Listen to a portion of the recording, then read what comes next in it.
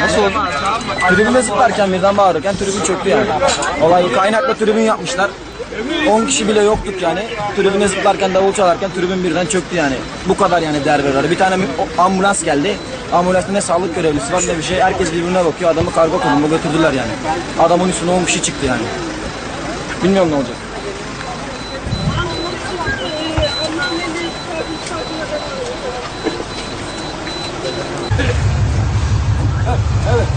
Herkes oturuyor. Sen kişisine buluyor baba.